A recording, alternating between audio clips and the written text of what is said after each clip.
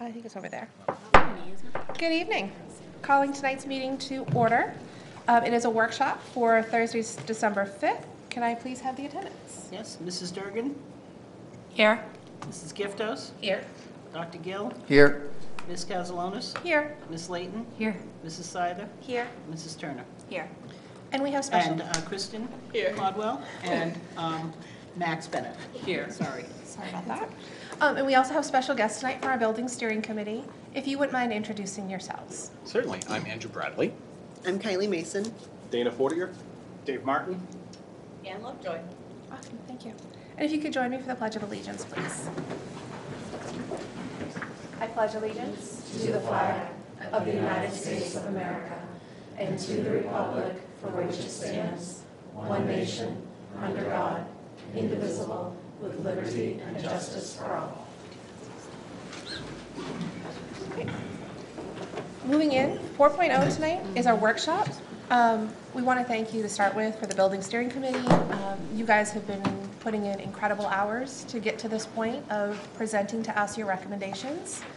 And with that, I'm turning the rest of the meeting to you. Sure. Um, Kylie and I are going to sort of try and split up some of the slides. so You don't have to listen to one person drone on. Um, but I've asked the committee members to just pipe up and throw in whenever they hear something that they think should be added or I've left out. And I would ask you to also join in the conversation and let us know when you have a question or a comment or if it's not clear what we're trying to tell you. So with that, let's get going. All right. Our charge, this is just what we're going through. Our charge, who we are, I guess we'll skip that because we already have. Uh, information we use to derive all this um, recommendation information. Um, what our current issues are in the K through 2 schools, um, what options we considered for the K through 2 facilities, um, then our initial recommendations and what we think should be the next steps.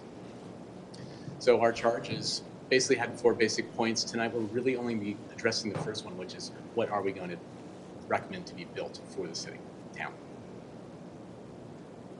Here's our full list of wonderful people. A few people that were not able to make it tonight. Um, and I will just add that we have a meeting weekly since October, so we have put in a lot of effort here. Um, and I want to thank everybody. I came up with the idea to meet weekly, and um, everyone groaned. Okay. so, what we used. Um, what we started with was the master plan that the school board commissioned back in probably 2014 um, with an architect to do an overall facility study. Um, what is the status of three primary schools, uh, included actually some in the middle school, um, Wentworth as well, to determine uh, how to handle increases in enrollment. So they actually went through the physical structure, looking at things like what the buildings were built with, um, what sort of energy efficiency they have, uh, what types of spaces are currently in them, what types of spaces are missing in them. Um, so they've made a, full master plan, and that was a large part of what we reviewed. Um, a lot of it's very straightforward, uh, has some very compelling information in there. If you haven't reviewed it recently, um, I would suggest you do it. Um, next thing we did was had some of the updated district enrollment data from 2019, which just compounded the information from the master plan. Uh, it showed that there's even a bigger swing trending up than was originally thought back in the 2016 plan. And then as a committee, we went out and looked for some additional information, looking at factors around student success. You know, how would changing a school or moving a school or doing those sorts of things affect student success? Something we wanted to know on our own that was outside of the master plan. And then we looked to committee members from the schools, three um, primary school principals, uh, to hear from them how their spaces are being used um, and what is appropriate or inappropriate for their student body. So one of the things that stood out, um, and I think stands out really well on this slide, is how deficient we are in some of our spaces. And when you look at how we stand uh, to DOE standards, while we all love our primary schools as they are, kids have gone through them, uh, we've had great experiences. One of the things that stands out the most is we're below standard in the sizes of our kindergarten classrooms, our first and second grade classrooms, our art room, but most importantly in these shared spaces like the gym and cafeteria. Uh, we depend on these for our lunches, for the you know for the gym time, and let's just talk about um, rain days or when we can't go outside. Um, it just makes that an even more compounded program or problem. And when you think about what that means, this is based on two seatings. If we were to increase one seating uh, for the lunch program, we lose 50% of our PE uh, time. And that's a big impact to our students. Yeah. Um, yes. So one of the things, we, there's a lot on this slide and you can read it just as well as I can read it to you, but a couple of things that stand out the most here is that it really asks what kind of district do we want to be? And there's obviously the legal implications of our spatial requirements, but there's also the societal implications. And what we're asking is our vulnerable students, all of our students, to do their learning out in a hallway, to learn their core curriculum out where the public is. People passing by, people waiting to go to the restroom, people going on, on their way to lunch. And we're asking them to do their, their most intense learning in this public space. And so, in addition to that, we have these, you know, we're sharing art and music. We have no space for adult uh, meetings. So when you think about our principal um, and and the teachers trying to meet on kid chairs in the library and still not have enough space to hold a meeting to teach our students what we need, um, that really stands out. Yeah, I mean, my son went through uh, schools and needed quite a few IEP meetings, um, and there are a lot of people involved. Uh, and the thought of having to do that in an open library on a very sensitive subject of my child's future um, is a hard thing to ask someone else to do. I think that's one of the things we need to think about as well. And you know, one thing that's on here, STEAM. I, you know, when I first saw that brought up, I sort of thought, oh, it's a high school subject. That's not a thing. But I realized it's really a fundamental here. I'm talking about building blocks in the primary level, and that's when it's missing. It's a gap that just kind of adds on over time. And I think if we talk about safety and security, we can talk about the inside of the building. Um, we can talk about cameras and technology and all the things we do to add our, you know, to make our schools more safe. Um, but for me, from a site perspective, I think about there is no fire lane around any of our schools at a primary level. And what that means is that in the event of emergency, there's one point of entry, which means they can't get their vehicles behind the school to help our students. That's a big deal. Um, and you know, to that, there's also there's no drop off, there's no pickup area for parents to, to drop their kids off at school. But going inside the building, you think about none of the doors are opening the right way for an emergency situation. They have to be locked from the outside. And when you think about securing in place, we're talking about somebody has to go through and lock those doors from the outside. That's not good for our students. Even the windows, they're And the not windows, they're not right. operable enough for anyone to get out. Yeah, I think one of the other key areas as well is that we're taking up so much space in other areas with programs, so hallway space uh, is being used, and that does uh, impede and complicate an exit path situation when we've had an emergency. So um, definitely from a code perspective, it's, it's uh, something that's a challenge.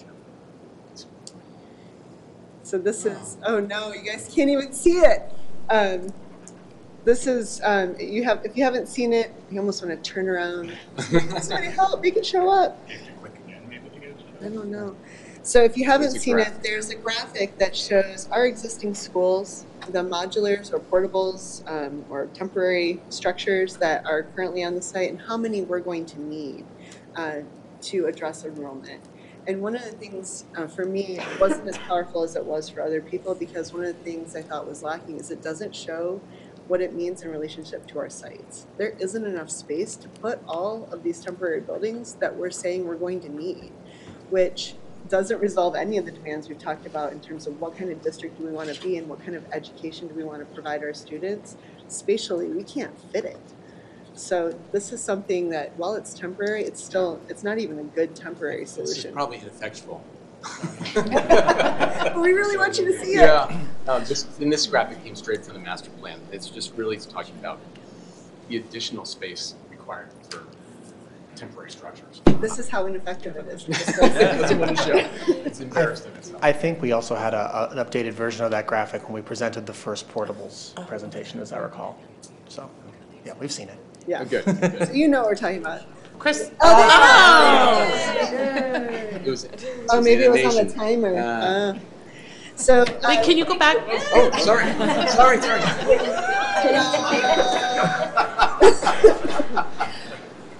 Technology, at works. All right, so the next one, Sorry, we get to the Kylie. site, What's the time horizon on the um, the 15 temporary classrooms? the timeline, uh, so that's actually, I think, up to twenty twenty-five, right? So the full Right. build out would be twenty twenty-five for all of these modulars. And there's a, a great fact that, and you'll see it later on, but if you take one thing away from this, if we kept going with this temporary construction, forty-five percent of our students would be in temporary modular classrooms by twenty twenty-five. That's, And that's only if we have the space for it, which we actually Right. don't. right. So maybe you could stack them like cargo boxes. I don't think that meets code, but, um, so then getting into site constraints, which is the next slide, I wanted to use this, uh, this example. This is Pleasant Hill site. And what stood out most to me is this, for me, documents the issue that we're looking at here. So you have this site at Pleasant Hill. It's a great local school, small neighborhood, community school. And then think about how much parking we need to put on there to meet demand. And look how very little open space our kids have. So we're talking about a playground that's severely constrained by a building and a parking lot on one side.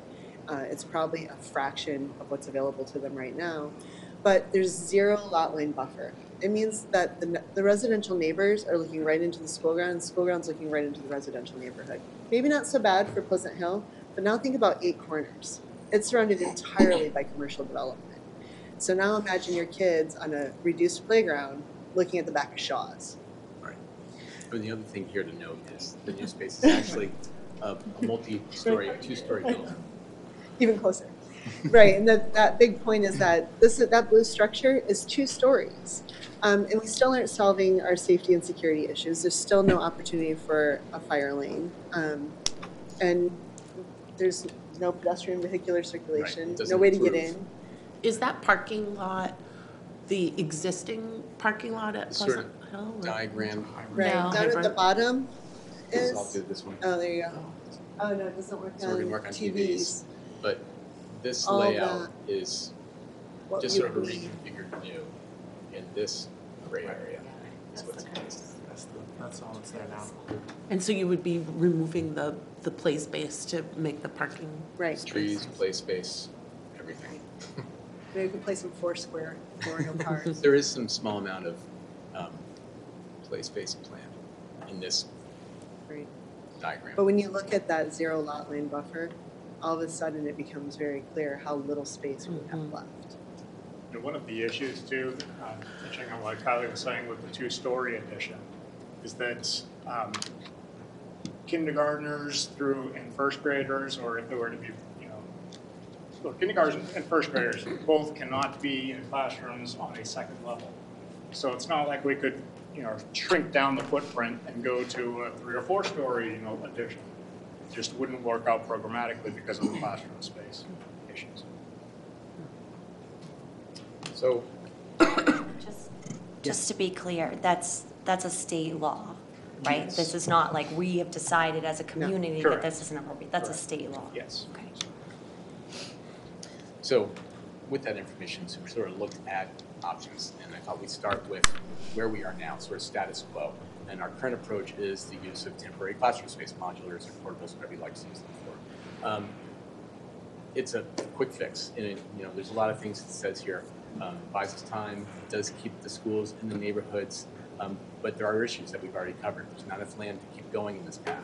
Um, It doesn't get us any new um, common or shared space. So every time we're adding children, the ratio of child to library or cafeteria or gym space, that goes down.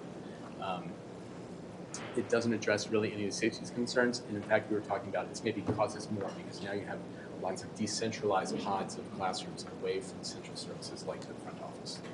Um, And sort of, to me, when I drive by modular classroom, classroom on the site are beautiful ones at eight corners. It reminds me of when I go to a job site, this is what the contractors often put up. They're meant to be uh, a temporary tenure, they move from site to site, but they're not, their lifespan is not meant to be the same lifespan as a permanent school structure.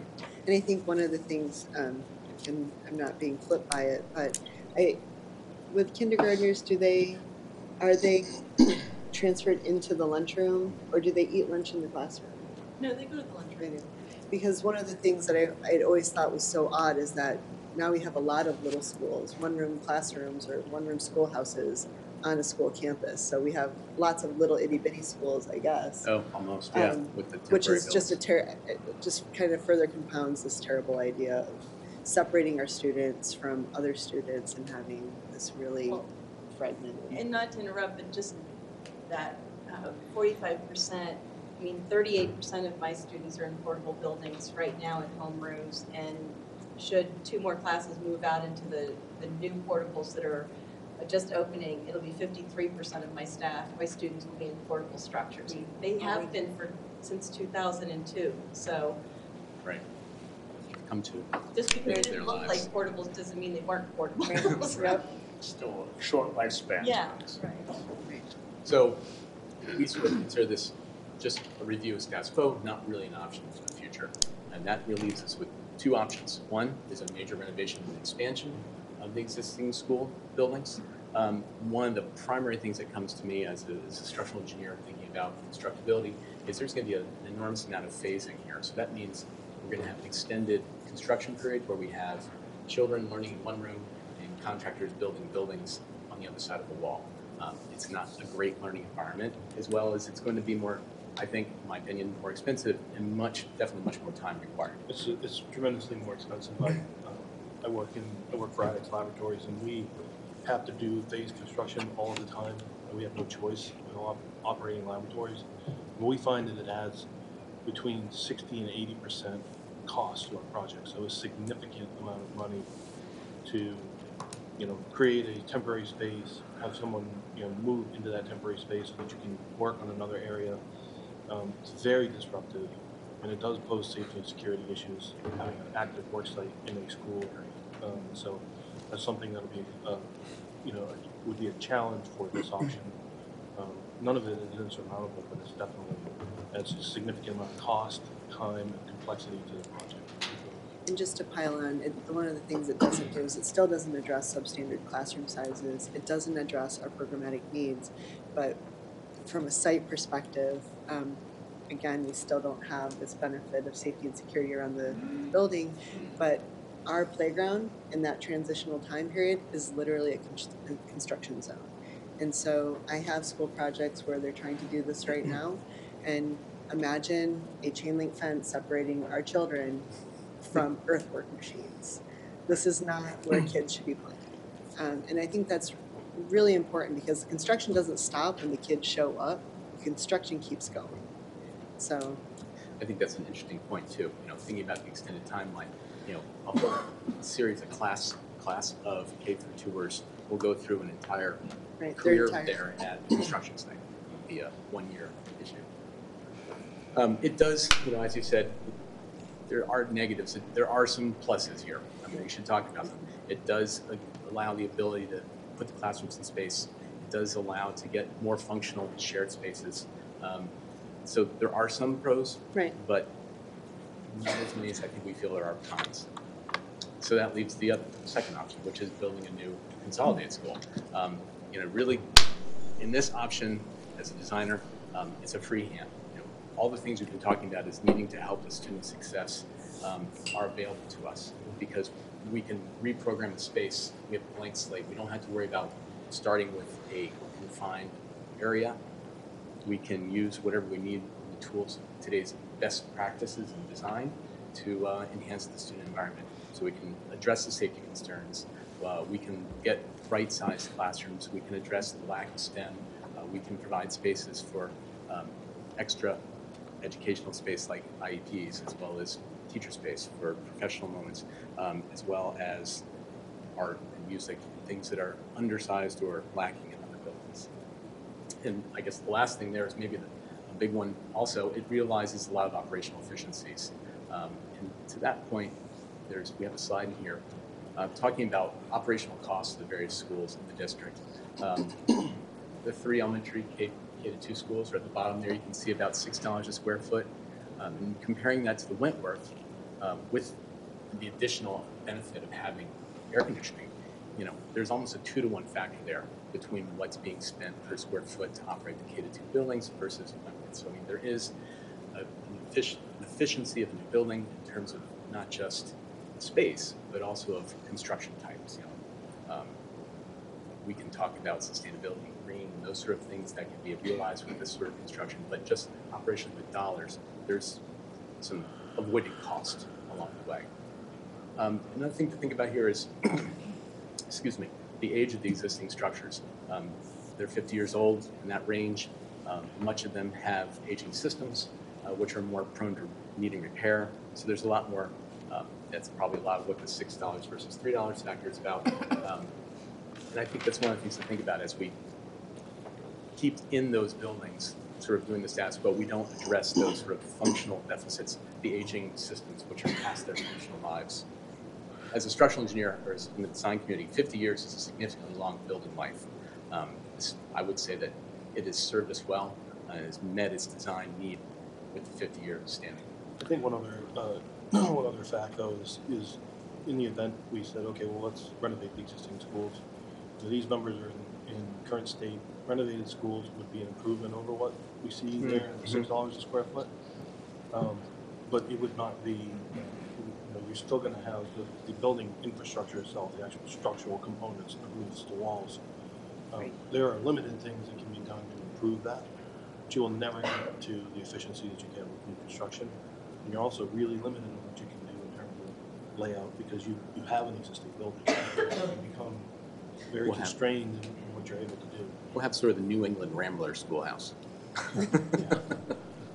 So if you, i- i- i- in trying to assess the cost of renovation versus, for operations and man- maintenance, renovations versus consolidation, if you, you know, if you took off some amount per square foot for renovation, it, would it be the, the net of all three schools versus the new cost of, so then you bring it down to the Wentworth as a consolidated? So would it be like eighteen dollars a square foot versus three or Well, four or five or? So since it's by square foot, it, it would. It would average out. It would average out, okay. Thank you for being the math person. I mean, one of the things also, sort of on that point about square footage, one of the things that 2016 um, plan talked about was the ability to reduce actual square footage because of the inefficiency of renovation. And so looking at the total square footage of renovated, uh, expanded K-2 building, three buildings versus the consolidated, they projected something on the order of 30,000 square feet saved. Um, it's not an apples to apples comparison. Report was not quite exactly what we're talking about here, but I think the point is still valid, is that when you have one building, you can find efficiency in square footage.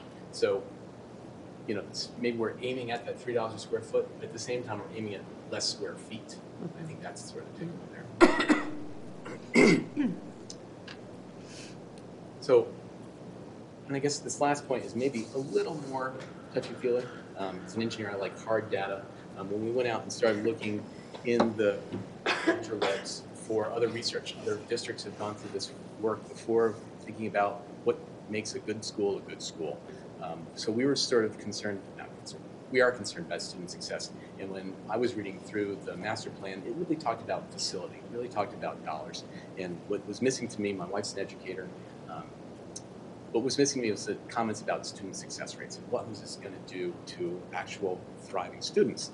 Um, and so there has been some concern about, you know, is a neighborhood school better or is this big school too big? And so we went out looking for, see if we could find some answers. Um, I think we found a few things. The biggest thing that we found was classroom size is really the biggest determiner of success. Um, socioeconomic status in the community is a big one. Um, overall school size seemed to be only reflected in overall attendance rates. So the idea being, you, you take three schools, you put them together, suddenly a whole bunch of kids stop showing up because no one's noticing. That's the, the negative, that's the idea. Um, but we have some really good examples of, was it four, four of the top five performing schools in the region. These numbers are, you know, this consolidated school idea would not be as large as Falmouth, um, but it would be in sort of that range.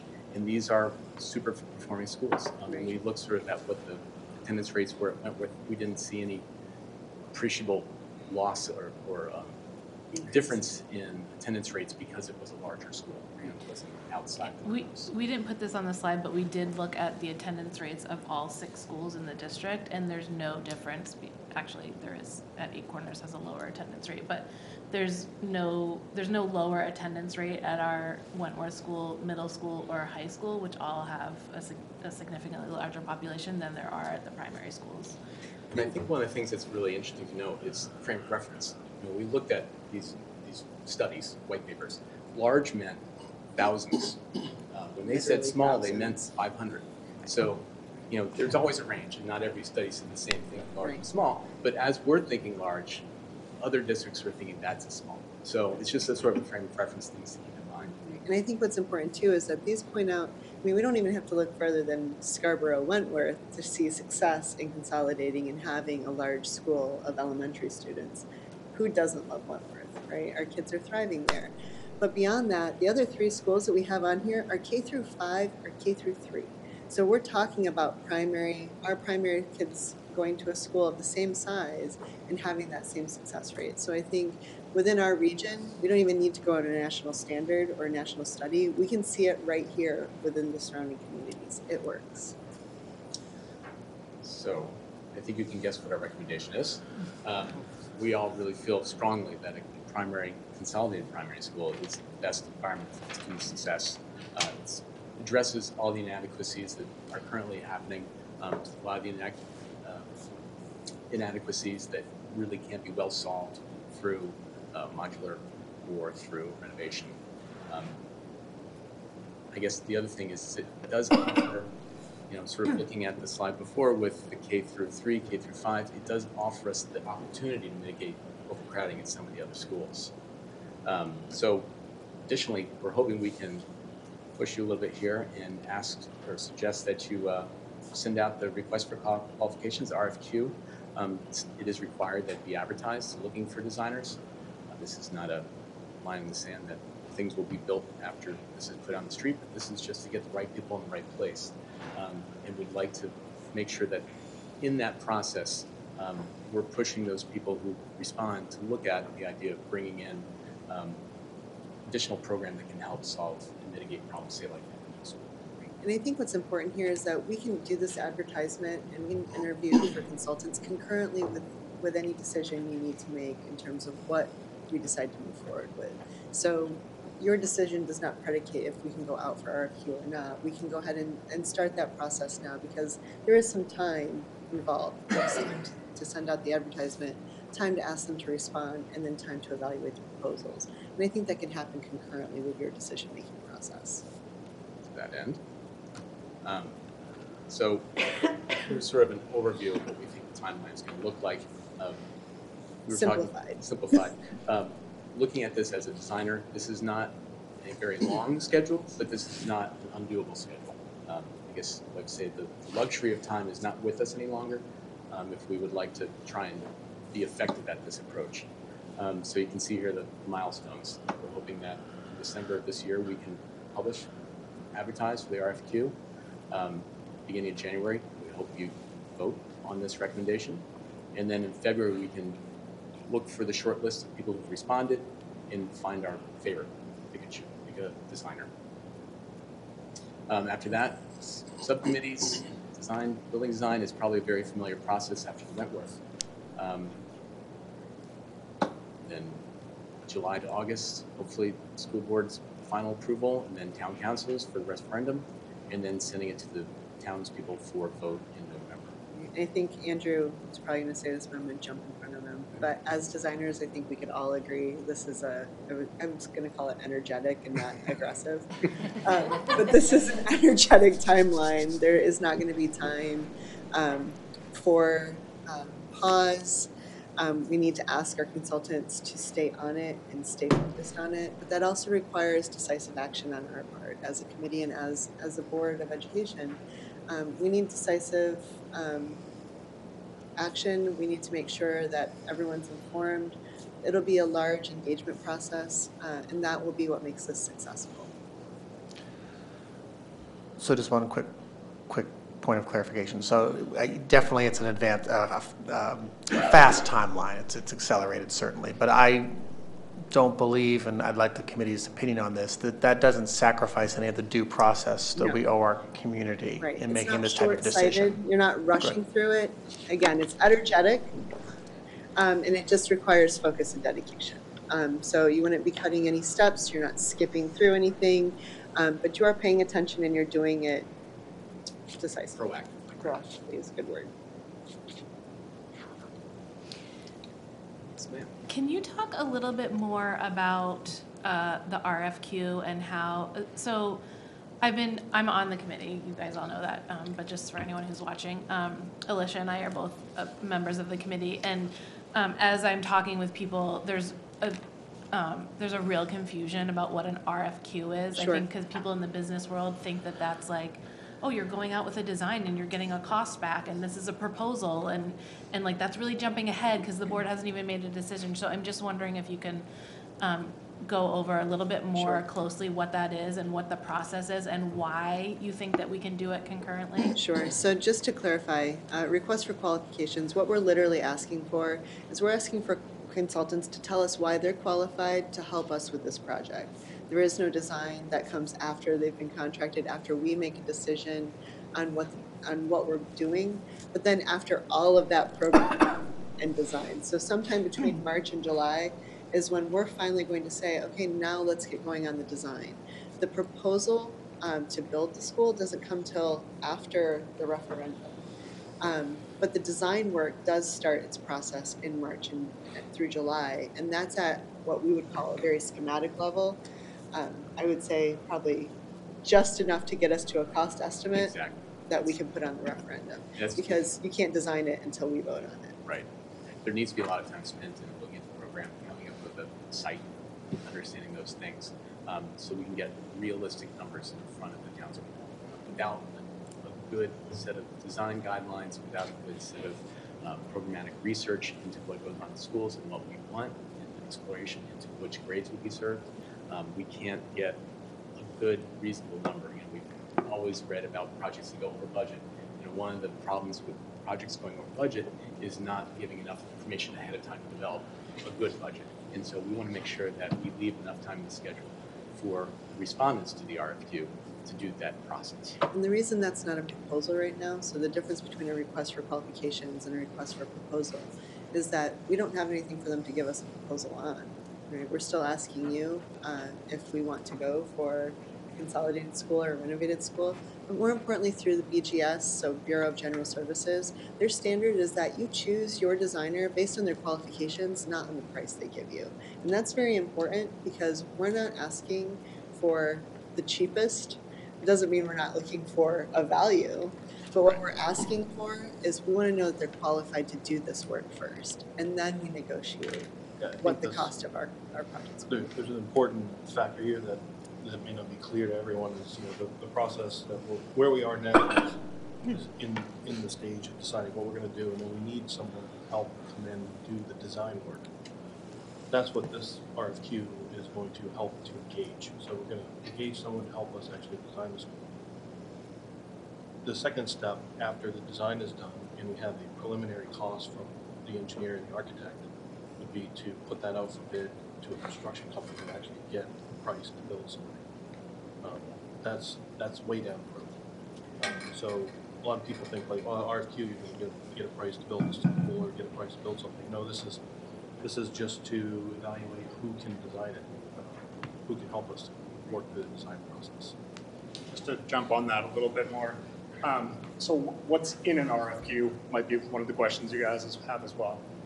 Basically, all we're seeking are, is, like, they- like everybody's mentioned, nothing monetary whatsoever, no fee proposal. Purely just looking to designers, architectural designers to assemble a team. So to assemble you know, engineers, the mechanical, electrical, structural, everybody, and propose a team together and just present everyone's qualifications based on their design firm experience and their own personal experience in terms of who would be, who they'd be presenting to work on this project should they be selected. So there, and it's our chance, um, the way we, we write the RFQ, we have written the draft of the RFQ, and we write it um, specific to what we're hoping to hear. So we, we want to hear, you know, specifically, you know, how are they, how would they address a, you know, the K through two type of, of building? Um, and some of the, the site restrictions that we may have, or you know, any sort of thing like that. You know, we, we want some, you know, sustainable building, so, you know, how would they go about, you know, what's, what's their plan of action for all these different design aspects?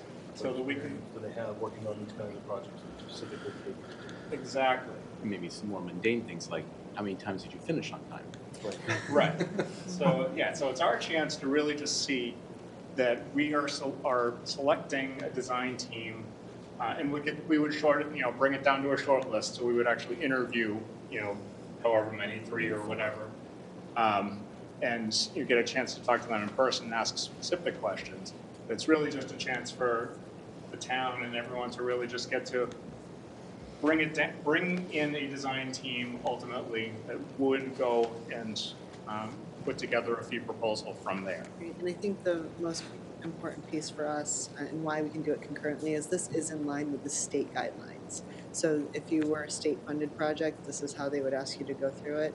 Even if you aren't a state-funded project, this is how they're gonna ask you to go through it. And that just assures that we're all doing things the way they should be, that no one's doing it in a unique way. So we have that assurance as well. And I think the other thing, just from my perspective, the other reason that um, we- it can work concurrently is because we, we have, the draft that we have written is written um, not for a specific project.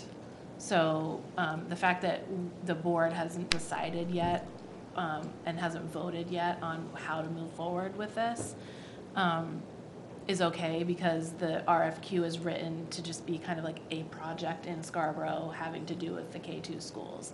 Um, and conversely, if something were to happen, I mean, if we decide to do nothing, then there's, you know, the only thing we've lost is the um, advertisement that we put in to, to have the RFQ put out. In the time getting all those packages. And then, right. I don't, want to interrupt April, I know she had a No, question. go ahead. Um, I have two questions for you guys. Was the vote to make this recommendation among your committee, was that unanimous? yes. It was, okay. Um, and then just back to the modular component, and you might have had this, or and if you don't have this data, we can follow up on it. Um, but at, at some point, we're gonna run out of space. You said, d- do you know uh, what year that is? Like, is that, cause Twenty twenty-five. Well, 2025 is when we that run out of number. when we run out of Space. space, right? Because, I mean, my context for that is, even if we said yes today, the school's not gonna be here for a That's couple of right. years, right? So we're It's likely a- gonna have to do these things Valid in, question. in parallel, so. Um, I don't know that we are prepared to answer it right now, but we can Okay. probably find out spatially, how many of these modulars can we fit on the sites and what would that look like? From a mean, I think- enrollment projection. I would think they'd have three answers. Right. You know, because the schools have different shapes, they have different sight lines, Right. um, and different drop-off points. So trying to squeeze them in would have, they wouldn't all be, say, four or five. You know, one would be one, one would be three, whatever it is. Fair enough, yeah. Well, and, and some of these conversations we've had on long-range planning, and, and beyond the ones that we have budgeted currently, which are a couple more at Eight Corners and then two potential ones at Pleasant Hill, anything we add beyond that that we can possibly find space for requires significant site work to bring up to, to line. So to fill in all those black squares that are up there with the sites that we have is probably not, not only is it not feasible, it's most likely not possible. To To kind of, sorry, my voice is terrible. To go back for just a second to what Sarah had just asked. um, Can you guys speak a little bit to the article that was printed in the paper? Because the article did not say that the vote was unanimous. And so Oh. we have conflicting information being circulated. And I just want to make sure that I'm saying the right thing and representing you guys appropriately. Sure. I mean, we've been meeting since October, and um, we aren't, aren't a homogeneous block. Sure. And we've had some discussions that were relatively heated at times. Um, have things they think are more important than others.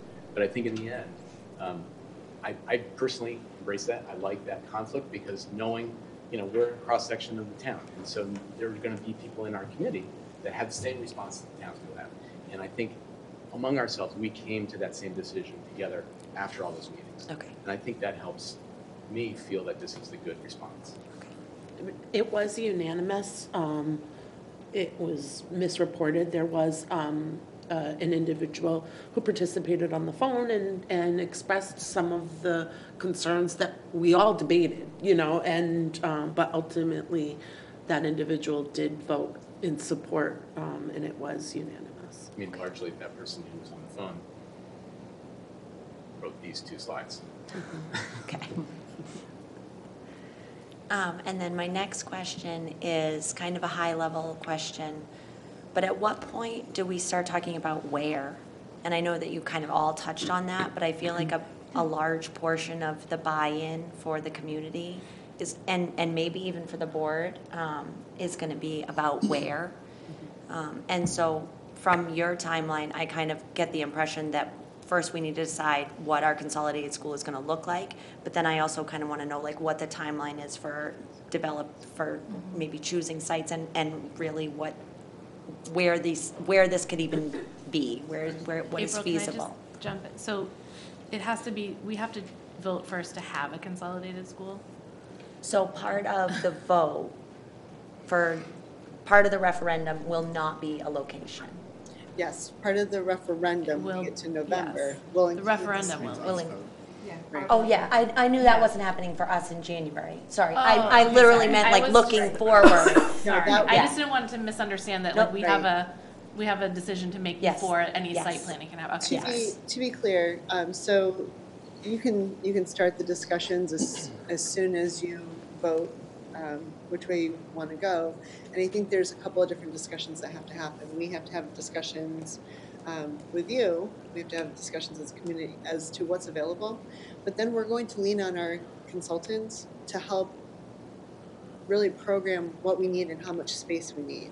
So we have a general idea, but right here in this March to July timeframe, you're going to have uh, your engineers or site consultants uh, working with the committee and, and the town to identify what sites are available and can they support what we're designing. Um, with that comes a number of things. Um, there need to be uh, some, some surveys done. We need to check for environmental constraints. Um, and all of that goes into making sure that the school, uh, should we go that way, um, could fit on the site we're choosing for it. So the worst thing to do would be to pick a five acre site and need a ten acre building. Um, that is a terrible idea, but, um, so, but, you know, you can understand the logistics. If you pick a site that's entirely wetland and you don't know that till after the referendum, oops. Monetary. So they, they're gonna flesh all of that out. The, the thing that we vote on in November will be uh, Site specific. site-specific and tested to make sure that we know what's on it.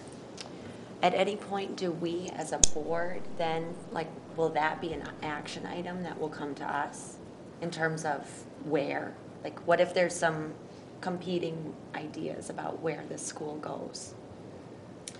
Like, how will, I can, I can actually address, as part of the public process that goes through um, the with the designers, you'll actually have uh, an opportunity to engage the community. Um, And what I would probably suggest is when we get there, we consider a straw poll to understand support. But largely, um, the availability of land will be dependent on the community, on, on the town, um, and whether it is owned and available.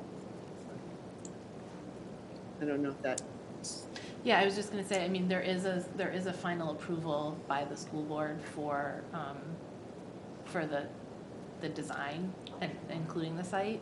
Um, and, I- I mean, that's something that you would be updated on, but I think Kylie's point is, I don't think we're gonna have twenty choices of sites. but we may have two. We might have two, if, maybe. Nice to find a third. Okay, we might have three. That would be What? ideal. I'd be happy with one. I just want to know, I- so, so the reason I ask is obviously because I just want to know, like, at what, you know, to what level does this responsibility fall to the committee, and, and how frequently does the committee need authorization from the school board? And, you know, how will we be able to make those kind of decisions? And, you know, will it be things like polls, or, you know, are we gonna, will it be cost, or will it be, you know, like, what are our, our driving decision factors, I guess? I would think that you could have an informational update as the steering committee and the consultants are moving through. Um, Certainly, there's going to be programming discussions just for informational purposes. Um, If we are lucky enough to have multiple sites to choose from, that would be a perfect opportunity to come and do some information sharing and to, and to gather information. Great, thank you. From your perspective and, and after doing this type of work, i- is there, um, other than seeking um, public input, are there other things that the board should be doing before the vote on January 2nd? There actually, we do have one more slide, but I don't know if it got, Oh. if it made it to this. But we did have some additional um, recommendations. And one of them was to open up the schools um, for the public to see, um, similar to what was done with public safety. Come and look at what we have, come and look at all of the schools um, and, and see what we're talking about. um, Just to get a, a framework uh, for what we're, what we're discussing and what, where we want to go. Um, I think sometimes the, the greatest evidence of what we're talking about is to let people see it with their own eyes. Um, I don't know, I might have it online. yeah. And there, the research is in the shared drive, and so is the um, facilities master plan and the enrollment studies, and I know that, I think you have most of that anyways, but, but um, those are, yeah, that's information obviously you want to I, look at. I think one thing that, I know we touched on it, but one thing I think this committee would like to ask the board to consider is that um, you consider in your, in your deliberations and ultimately in your vote that this building project find a way to add relief to overcrowding at the middle school. Um, that we somehow can, can actually kind of dual purpose um, what we're trying to do and add value. Um, we have the opportunity here to not just fix our primary schools, but to add relief to some of our other buildings. I think that's also an important point in terms of, talk about the um, siting of the school, size, and the programming. Those are very key elements for us to be able to, when we engage the designer, those are things that will need to be known um, in order for us to be successful in carrying out the design in a reasonable period of time. I think that, like, the, oh, sorry, Kristen. Um, can you kind of explain more about how it would help the middle school with like those headaches? Well, actually, that's kind of what I was gonna, Yeah. I can sort of speak that a little bit. I think, so, um, this committee's charge, if you go back to the very first slide, was very specific to, um, to look at the K two level. Um, so, you know, we all saw the potential for being able to, um, shift grades around and maybe alleviate some of the overcrowding at the middle school by moving sixth grade out and all of these other things. But because our charge was very specific to K two, we didn't go down that path.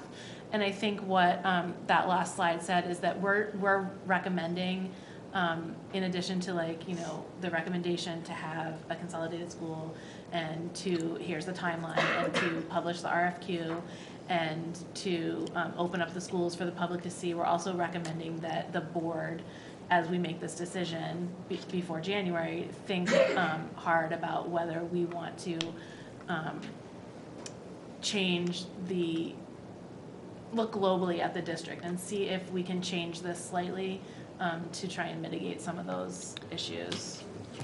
One of the options that's championed in the facilities master plan, actually two of them, uh, do exactly that. They do some phase shifting and they actually move um, K3 to the hypothetical. Yeah, I think I'm catching whatever you're doing. Um, uh, Move K3 to the, to the lowest, um, to our youngest group of students, then you go to four, six for Wentworth, and you have seven and eight alone at the middle school. And that would allow us to get rid of our whole grade that lives in the satellite uh, temporary school. That was a nice way of saying that. So the, I mean, during those discussions, it got to be really overwhelming because we were talking about renovations and consolidations and the grades and what that means and, and so if, if we're to now look at that from a board level, um,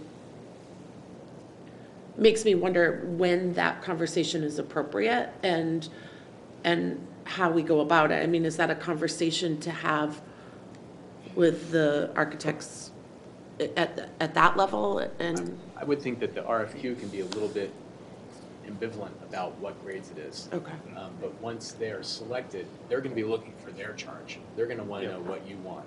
And at that point is when we need to have that answer. So that It- gets It's a us- conversation that I think needs to happen now. okay. Yeah. Needs to happen and This- and The happen. decision doesn't need to be now. You have time. But I think by the time we're selecting an architect, you, we want to know that answer. Okay. So is that a conversation that occurs in long-range planning, or where, how, and then long-range planning makes a recommendation, or how, how do we tackle that? In the way that Oh, sorry, I was gonna say, for me, the way I've been thinking about this in listening, and there has been so much research, it's evident. Um, I think that's part of that conversation for when we go to take the vote. And it may be that we are charged as board members to go back, review the information that you have seen. Um, the, go back through the master plan and really look at what their recommendations were as well. And be prepared to have that open conversation after the public forum on the nineteenth. Um, that information is all public, so the community can look at it as well, um, as far as the master plan, and really be able to have, um, a, a solid understanding. I have a gut feeling of where I would land on it, but I really need to spend some more time analyzing all the information to know that I'm doing it with data and not just on an emotion. I agree with Leanne. I think that, you know, the good thing about this is a lot of these answers and a lot of the information that can underlie, I think our opinion exists. It's just a matter of refamiliarizing ourselves with it as a board through the lens of what we know now and where we're headed, um, most likely depending on what we recommend, what we decide, of course. Um, But I- we're not starting over, so I think that's a good thing. I think the amount of work is actually small. Agreed. Just to be clear though, I think you guys are asking for a decision from us tonight on whether or not to go out with RFQs. Correct. Yes. Okay. If we can, So do that is- I was gonna say Okay. for, um, the RFQ, it sounded as though we didn't have to say it is absolutely going to be, you know, X to Z as far as grade levels. It's, yes, you can go to that, you know, the qualification point. Um, It's very non-specific, yeah, to be honest. And, well, and in fact, it's not even um, renovation versus consolidation Right. specific in the RFQ either, no- let I mean, alone it's- grade levels. It's really like asking people to give us their resume and references. Basically. And, and a lot of the information is, you know, what have you done? And you, and, and you can look it over, I can send it, it's right, it's right, it's being vetted by the lawyers right now. Um, but, you know, it's not, it's only, it's like six or seven pages, it's not like overly crazy, it's not super technical. I mean, it's pretty easy to figure out what you're asking and it's, and it really is, like, um, have, did you come in on budget on your, on previous projects? Have you, and, and if not, why, you know, and did you, did you finish on time, and if not, why? And what other projects have you done that have, uh, you know, that might make you feel like this is a good, you know, that this would be a good fit for you, and, y- I mean. What's the owner's phone number so you can call and Right, test right, and then, and then, yeah, and who ran that project, and can we talk to them, like, that kind of Right. thing. Are we, are, do we have a workshop on January 2nd, or is that possible to have the, because it would be nice to have a discussion, not just a vote, uh, but, um, we don't have one scheduled, but I think that's a great idea. okay. Um, and I would ask that you guys come as well. I'd also remind you that we have on the nineteenth, the public forum, um, where the community is invited to come from six to seven to provide their thoughts on a consolidated or, um, renovated options. And we'll use that to formulate, and I do think that having that opportunity for us to talk about this is really valuable. And I also just want to point out that you may have noticed our um, slideshows slightly on the wordy side, but that's because um, we kind of made it so that this can be uh, shared, so it'll be up on our um, website, right? Yeah, it'll be up on our website um, and as a document that hopefully can stand alone and give people some information or at least the, um, a start on where to uh, continue looking for information for, for um, this project. Can that go on social media? Uh, we could link it, we could do a Okay. link to it on That would social be media for great. sure, yeah. Yeah, thank you. I don't, we can't put the entire slideshow on, Thanks. like Instagram, but. And, and all of those documents that you guys had mentioned that I know are in our shared drive, have those all been linked to the website? So, yeah, so the, um, the enrollment study is public and the, um, faci- uh, master plan, sorry, the master plan is also public. I mean, what we might wanna do is mm, put another link to all those things under the building steering committee page. Um, Yes, I mean, please. even though they're linked in other places, we Yeah. might wanna kind of put them all Consolidate together. them. I'm not Yes, move please. them, but just addition, put an additional pathway for people to be able to find those things. That would be great, Thank you. Thank you. Guys. This was incredibly informative. Um, Thank you. Thank your families as well for the amount of hours that you have spent with us in preparing for this. Thank you. It's good to get out of the house. Yeah, everybody's fine with it as long as we miss bedtime. All right, and with that, um, the workshop is concluded, and we have about a five-minute recess until we move into our business session.